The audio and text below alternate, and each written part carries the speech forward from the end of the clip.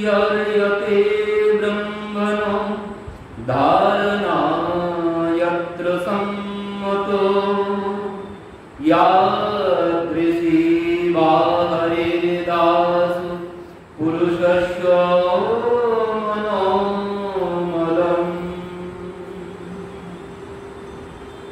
তো পরীক্ষিত মহারাজ তৃতীয় প্রশ্ন করলেন আমরা এরা আগে শ্রবণ করেছি দুইটি প্রশ্ন করেছিলেন একটি হচ্ছে, মৃত্যু পথযাত্রীর করণীয় কর্তব্য কি?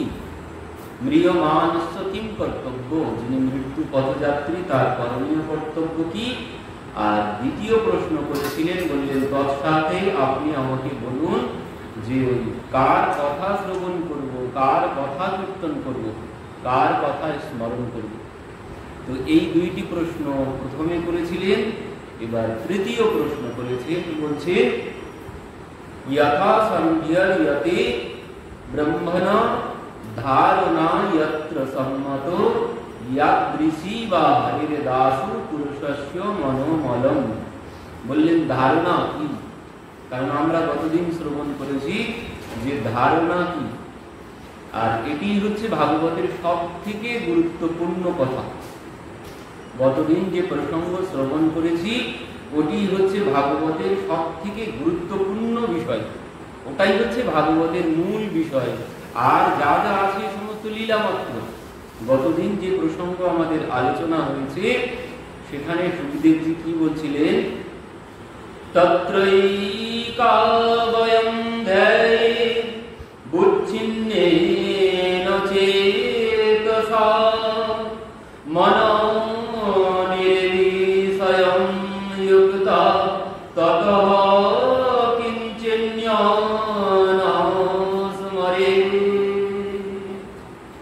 বলছেন যে, স্থির চিত্তে ভগবানের কোনো এক অঙ্গের ধ্যান করতে করতে বললেন, বিষয় সম্বন্ধহীন করতে হবে এই মনকে।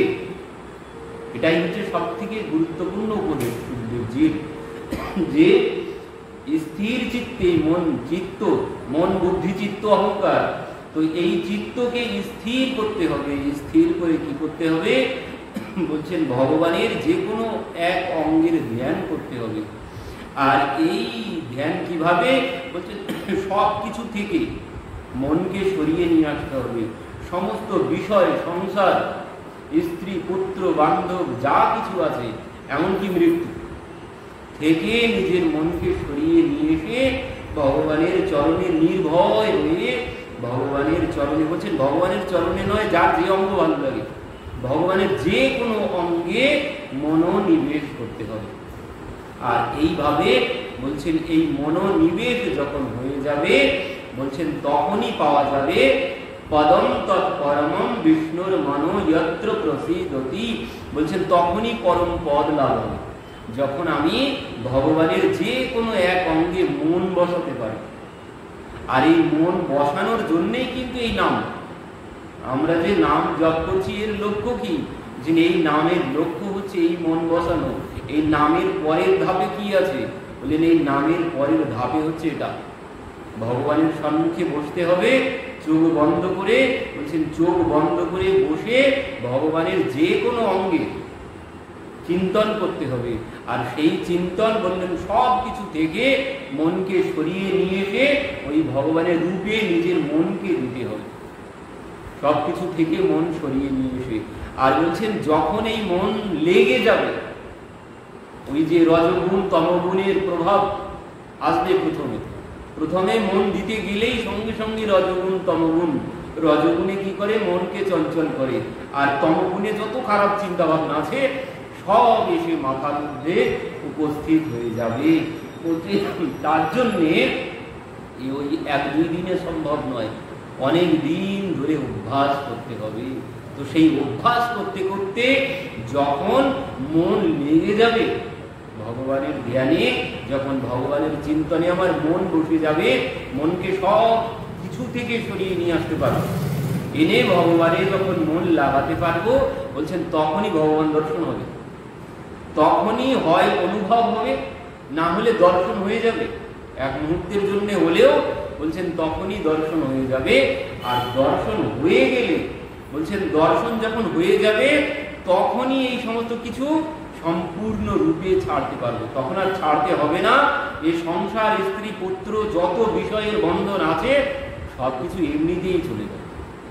তবে তার আগে অভ্যাস করতে হবে, এই মনটা ভগবানের দেওয়া, ভগবানের চিন্তনে এই মন বসানোটা অভ্যাস করতে হবে আগে। আর তার জন্যই এই নাম।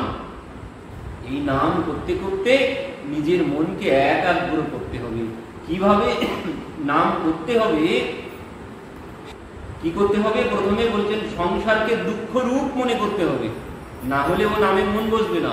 বলছেন, সংসারকে দুঃখ রূপ মনে করে বৈরাগ্যযুক্ত চিত্তে, নির্ভয় হয়ে এই নাম জপ করতে যখন সংসারকে দুঃখ রূপ মনে করবে, তখনই আর বৈরাগ্যযুক্ত চিত্তে সব কিছু থেকে মনকে বৈরাগ্য নিয়ে আসতে হবে।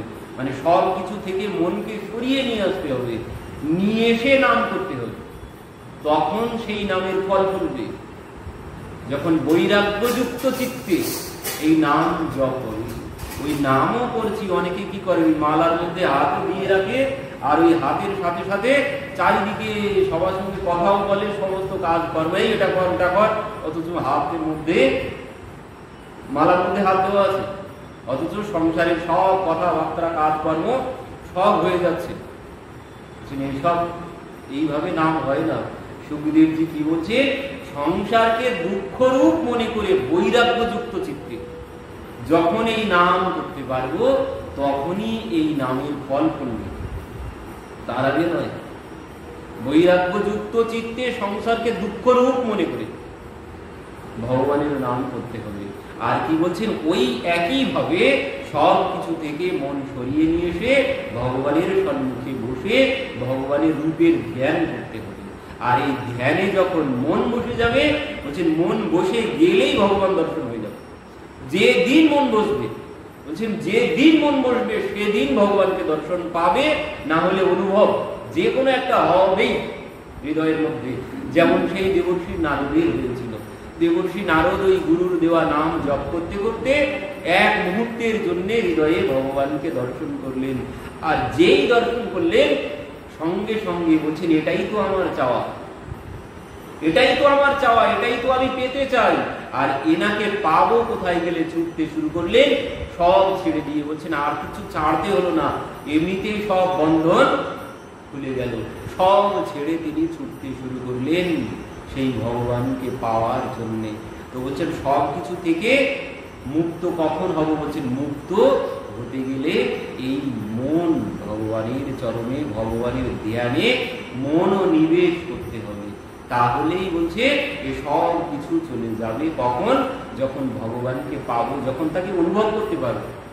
আর এই অনুভব যখন হবে, বলছেন অনুভব কখন হবে?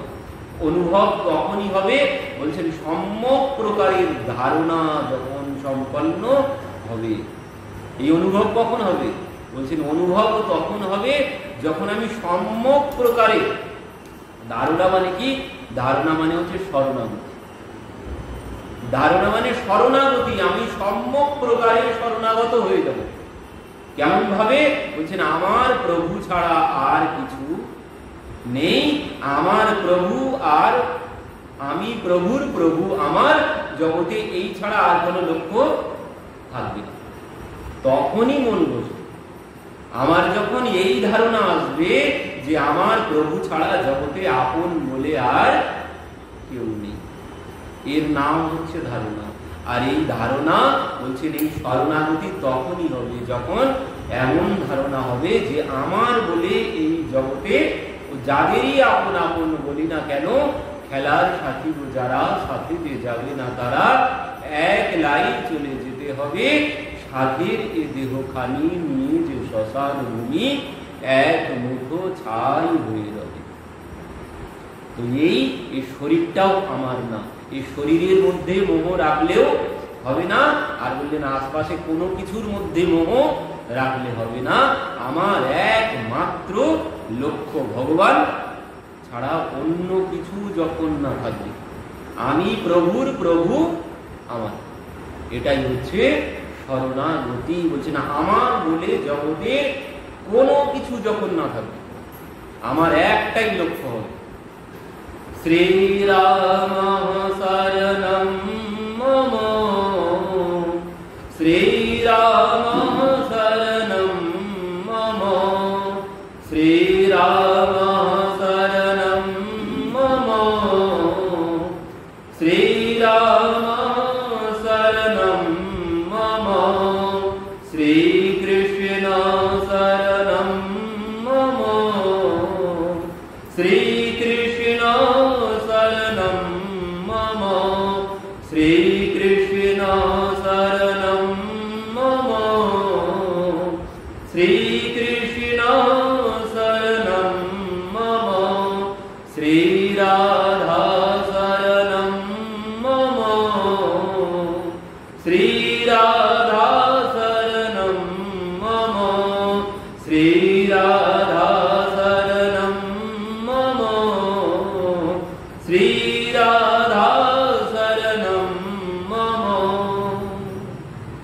বলছেন এই শরণাগতি প্রভু, আমি তোমার শরণাগত, তুমি ছাড়া আমার আর কেউ নেই। একমাত্র তুমি আমার আর আমি তোমার।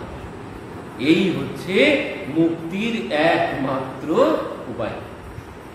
এই শরণাগত যখন হতে পারব, বলছেন, তখনই তুমি সব কিছু থেকে মুক্ত হয়ে যাবে।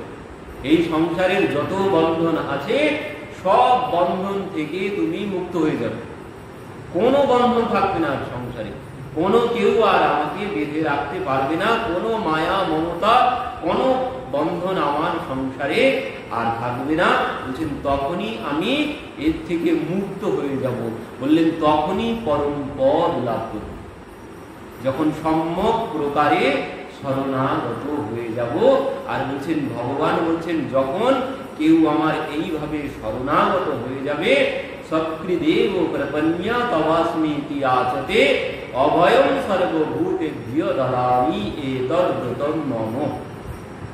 সক্রিদেব প্রপন্ন বলছেন, যখন কেউ একবার আমার শরণাগত হয়ে যাবেন বললেন অভয়ম সর্বভূতেভ্য দদামি এ তদ্ব্রতম মম। বলছেন সব কিছু থেকে তাকে আমি অভয় করে দেব। যখন কেউ আমার শরণাগত হয়ে যাবেন, তো মূল কথা হচ্ছে এই শরণাগতি। আর এই শরণাগতি যখন আসবে, বলছেন পরম পদ তখনই লাভ হবে। যখন শরণাগতি না আসবে, তখন কোনো লাভ হবে না। শরণাগতি বলেন সম্যক প্রকারে, সম্পূর্ণরূপে নিজেকে সমর্পণ করতে হবে। তাহলেই লাভ, তাহলেই পরম পদ আর বলছেন এই পরম পদ এখনই পেতে হবে। মৃত্যুর পরে এই পরম পদ পাওয়া যাবে না। এই পরম পদ মানে এই মুক্তি। মানে সব কিছু থেকে নিজেকে মুক্ত করতে হবে এখনই। বলছেন, এখন যদি না মুক্ত করতে পারো, মৃত্যুর পরে কোনোদিন মুক্ত হওয়া সম্ভব নয়। কেউ তোমাকে মুক্ত করতে পারবে না। তাই যত শ্রাদ্ধ করুক আর যাই করুক তোমাকে মুক্ত করতে পারবে না, বলছেন, তোমাকে এখনই এই জীবিত অবস্থাতে যদি তুমি মুক্ত হতে পারো, যদি এই পরম পদ লাভ করতে পারো, তাহলে মৃত্যুর পর তুমি পরম পদ পাবে, তখন তুমি মুক্ত হয়ে যাবে। বললেন, এখন যদি মুক্ত না হতে পারি, মৃত্যুর পরে কোনোদিন মুক্ত হওয়া সম্ভব নয়। কেউ শ্রাদ্ধ করে মুক্ত করতে আমাকে পারবে না। এটাই হচ্ছে কঠিন সত্য কথা। এটাই হচ্ছে সব থেকে কঠিন সত্য কথা। বলছেন ও শ্রাদ্ধ করে কেউ আমাকে মুক্ত করতে পারবে না। আর বলছেন, বন্ধন যখন থাকবে, তখনই তোমাকে মরতে হবে। আর মরতে হলেই তোমাকে পুনরায় পুনরপি জন্মনম, পুনরপি মরণম বলছেন, যখনই তুমি মরবে, তখন তোমাকে জন্মগ্রহণ করতে হবে। যখন মরবো, তখন জন্মগ্রহণ করতে হবে। বলছেন, যখন মরবো না। মরবো না কখন? বলছেন মরবো না। তখন যখন আমি মুক্ত হয়ে যাব, জীবিত অবস্থায় কি থেকে? বলছেন, এই যে সংসার থেকে কামনা, বাসনা, লোভ, লালসা, এই শরীর থেকে সম্পূর্ণরূপে যখন মুক্ত হয়ে যাব, বলছেন, তখন আর আমি মরবো না। তখন আর আমি মরবো না। আর তখন আর আমি জন্মগ্রহণও করব না। বলছেন, যখন মুক্ত না হতে পারব, জীবিত অবস্থায় যদি মুক্ত না হতে পারি, এই সমস্ত সংসার, বিষয়, সম্পত্তি, গাড়ি, বাড়ি, টাকা, পয়সা, এ থেকে যদি মুক্ত না হতে পারি, তাহলে কিন্তু আমাকে মরতে হবে। আর মরতে হলেই পুনরায় জন্মগ্রহণ করতে হবে। এবার জন্মগ্রহণ মানেই যে আর মানুষ হব এমন কিন্তু আর কোনো কথা নেই। কর্মফল অনুযায়ী আমাকে ওই চুরাশি লক্ষ জনিতে ঘুরে ঘুরে বেড়াতে হবে।